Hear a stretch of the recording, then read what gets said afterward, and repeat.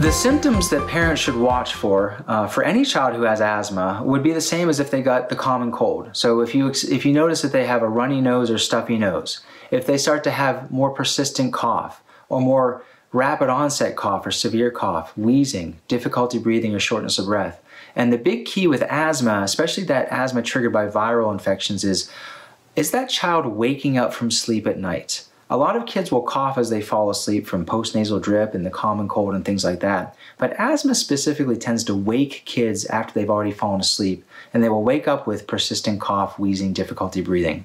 So, those are the main things that we have parents watch for in regards to asthma, uh, especially with viral infections, and that would be the same advice with COVID 19 as well.